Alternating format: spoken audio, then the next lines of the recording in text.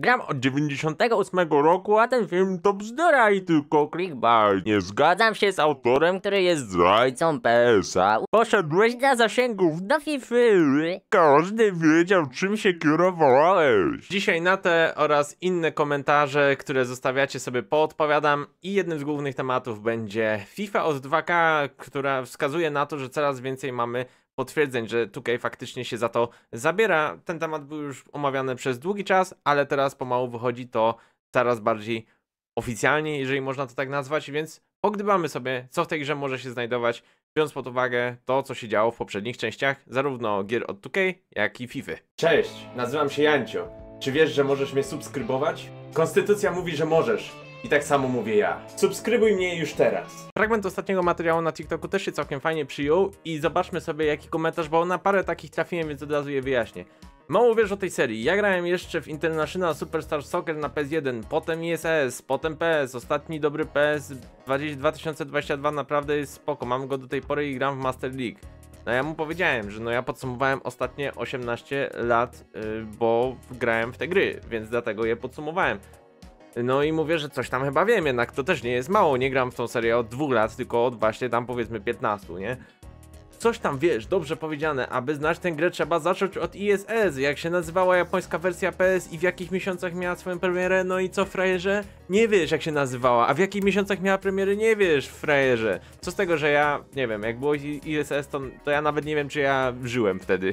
to, jest, to jest w ogóle jakieś 200 IQ, nie? Ale miałeś o tym mówić. Nie było cię wtedy nawet, nie miałeś jak fizycznie w stanie grać, ale nawet jak miałeś dwa lata, to miałeś grać. Miałeś dwa lata miałeś już grać w ISS-a. Po prostu bawią mnie ci ludzie, którzy chcą zabłysnąć i przy okazji pokazać, jaki ty jesteś głupi, nie? Ja to grałem od 30 lat. Co z tego, że nikogo to nie obchodzi, tak naprawdę.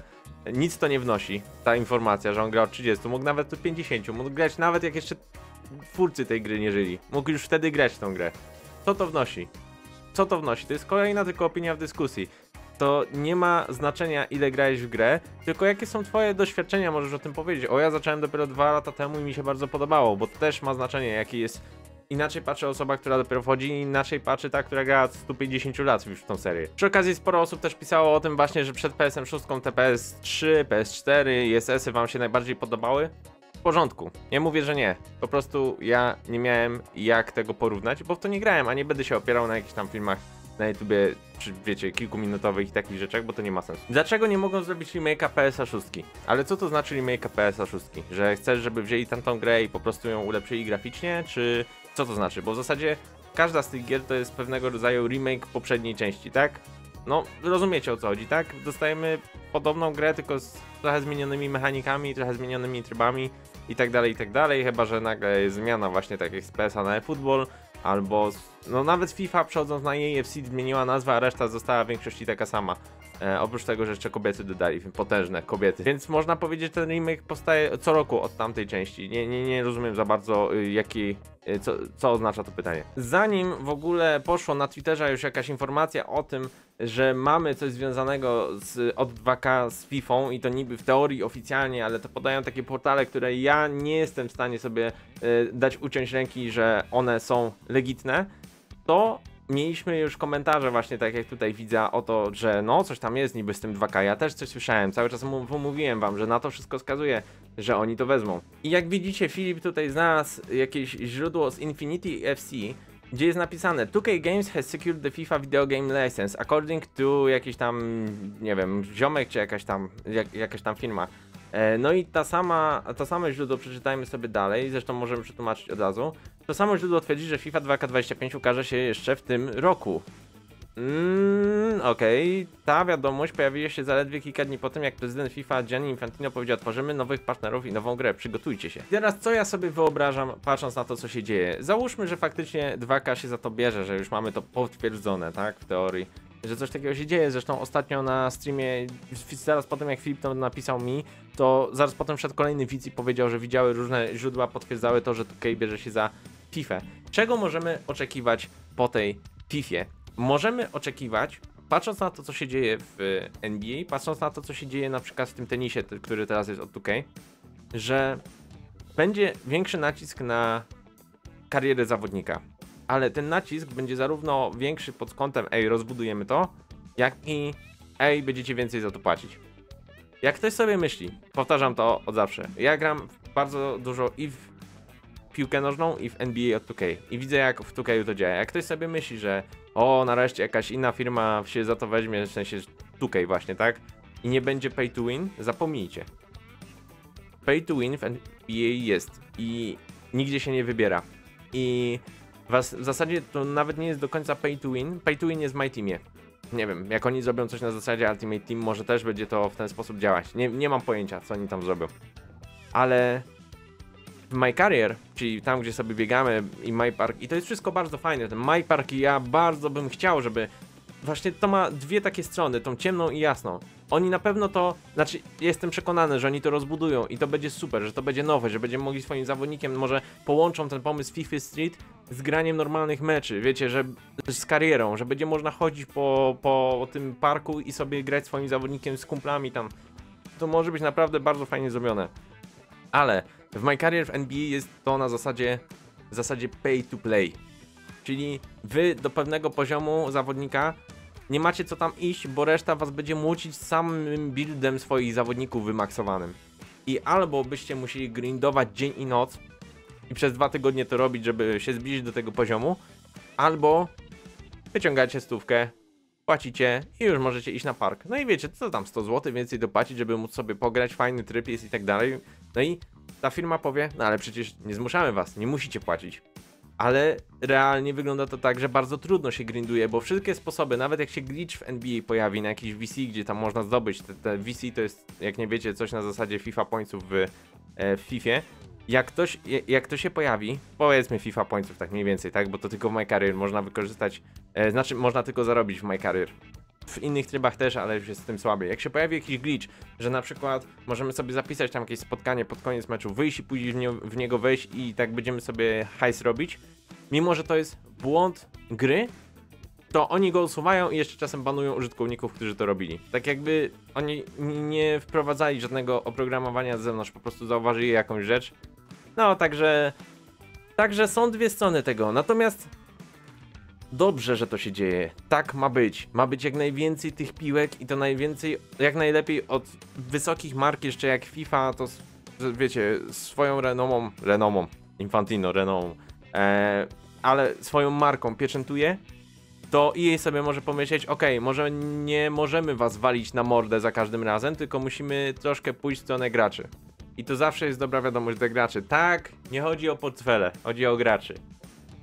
No, i tyle chciałem powiedzieć w tym temacie. Ja oczekuję, że będzie rozbudowany typ zawodnika, że może będzie to połączone właśnie z Voltą, z FIFA Street e, i że być może dostaniemy coś na wzór tego, co mamy w NBA z tym, wiecie, Mamba Moments albo Michael Jordan, to znaczy, że dostaniemy jakąś ścieżkę dla jakiejś legendy, na przykład, która będzie twarzą da, danej części. Czyli na przykład FIFA 25, niech twarzą tej części będzie na przykład e, Johan Cruyff i mamy 10 spotkań do rozegrania najważniejszych i jakieś tam challenge do zrobienia Johanem Cruyffem albo takie rzeczy. To są takie małe sprawy albo i w ogóle jak będzie można zrobić menadżera online, błagam, niech ten tryb powstanie. Jak nie wiecie, w NBA jest coś takiego jak, mm, jak menadżer, że sobie gracie tak jakbyście normalnie offline prowadzili karierę jakąś drużyną, ale online, że zapraszacie znajomych i każdy prowadzi swoją drużynę. Transfery robicie między sobą. Jak coś takiego powstanie, kupujemy to i robimy menadżera z widzami. To, to będzie petarda, błagam. I ten tryb mi wystarczy wtedy, żeby mnie zadowolić. No i na sam koniec przechodzimy do naszego ewenementu, jeśli chodzi o komentarze, który uzbierał aż 14 lajków. Błagam, ludzie, nie załamujcie mnie. Dla mnie futbol jest gameplayowo lepszy od PS-a nawet. No ale skoro grasz w FIFA, to trzeba film zrobić antyfutbol. Naucz się grać, a nie zatrułeś się FIFA. Bo mnie każdy kolejny tytuł podoba się teraz bardziej grając od 98 roku. Widzicie? I to jest to takie, to co na początku, nie? Ja gram od 150 lat, więc wiem lepiej, mordo. Wciłeś jakiś kawałek filmu z eFootball prawdopodobnie 2022, gdy gra była w opakanym stanie. W tej chwili ta gra daje naprawdę dużo frajdy. Dodam, że przez rok albo wręcz więcej graliście to z Filipem. Mało tego, cisnęliście po ludziach, którzy hejtowali grę od Konami. Przesiadłeś na ten twór od jej nazywany piłką i teraz widzisz jakieś śmieciowe jest Konami, bo z tego nie ma na YouTube. Kolejny. Był PS 18, później 21, a później zamykamy oczy? i eFootball 24. Przez 3 lata się nic nie działo, nie? Udajemy, że się nic nie wydarzyło. To gadanie o tym, że ja przeszedłem na FIFA do jakichś wyświetleń, albo dla klasy, albo dla czegoś tam jeszcze, Boże święty. Gram od 98 roku. Kolejny raz, żebyście zapamiętali, nie? A ten film to bzdura i tylko clickbait. No, no bo jak grasz od 98, to wtedy automatycznie masz rację. Słuchajcie, jak ktoś z was gra od 97, to mu napiszcie, że to co on pisze to jest bzdura, bo będziecie mieli wtedy rację. Jedyny upadek jaki widzę z roku na rok to arcade FIFA którąkolwiek. Co ty gościu z tą FIFA masz? Nikt o niej nie pisze. To są tak jak ci, ci ludzie, gdzie macie jakiś post o koszykówce, i przychodzi nagle ktoś i pisze coś o Lebronie, ale nic w ogóle o Lebronie nie było tematu nawet, nie? A on przychodzi i pisze o tym. I wszyscy mają takie, gościu, co ty chcesz w ogóle? Uciek do FIFA, czy jak to gówno się teraz nazywa dla kasy? No tutaj ode mnie kciuk, gościu, jak w, jak w Falloutie, kciuk w górę. Ja napisałem, że to jest albo troll, albo zwykłe pieprzenie, tak jak wam mówiłem, a dalej y, czytamy. Żaden troll, grałeś w PS-a, to cię oglądałem. Poszedłeś do zasięgów do FIFA. Do zasięgów? Twoja sprawa, tym bardziej, że każdy wiedział, czym się kierowałeś. Każdy wiedział, no tyś widział na pewno. I nagle wskakujesz, że futbol upada. Nagle, nagle, rozumiecie? Zespawnowałem się w 2024 roku i zrobiłem taki film. Albo nie, lepiej, ja przez te ile? 3 lata, jak już gram w FIFA profesjonalnie, wcześniej też grałem w FIFA, tylko że grałem w turniejach w Pro Evolution Soccer, ale nie mówcie nikomu, można grać w te dwie gry na raz. Nie mówcie nikomu. To ja przez te 3 lata robiłem ten film te 8, 8 minut, czyli on tam trwa, 14. I nagle wyskakuje, że futbol upada jak nie upada, ach, ale chciałbyś, żeby upadł. No, ja, do, ta, ja tak jak ty, ja chodzę i piszę w komentarzach, a, dobra. Ale nie upadnie, bo za grubo zarabiają, a ja im chętnie dokładam i dokładam kto chce ile chce.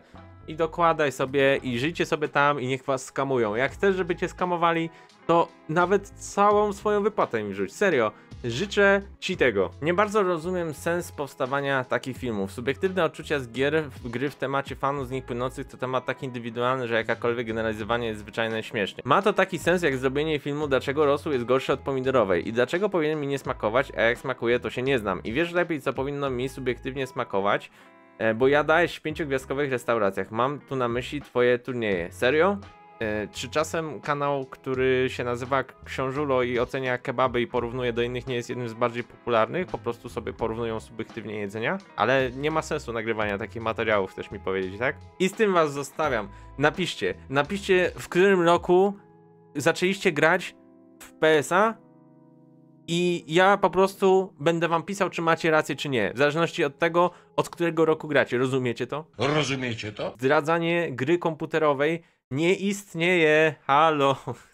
Rozumiem, gościu, że jak ty normalnie jesz pomarańcze, ale kupisz mandarynkę, to zdradziłeś pomarańcze wtedy, tak? Potężny cross platform, patrzcie. PlayStation, Xbox, Apple Store, Steam. To wszystko będzie jako cross. Patrzcie, patrzcie co tu się dzieje. Niesamowite i to w 2022 roku już była taka zapowiedź. A tutaj patrzcie, znowu was szokuje. Mamy taki roadmap, patrzcie. I tutaj jest napisane tak, że i to było w 2022 roku, nie? Że wczesna jesień to mamy tutaj y, cross platform taki, a później od jesieni dalej już mamy taki potężny cross platform, patrzcie. A później patrzcie, wszystkie platformy od zimy, wszystkie już będą. Napiszcie co myślicie o tej FIFA od 2K, bo jestem ciekaw jak wy sobie to wyobrażacie. Trzymajcie się. Hej hej.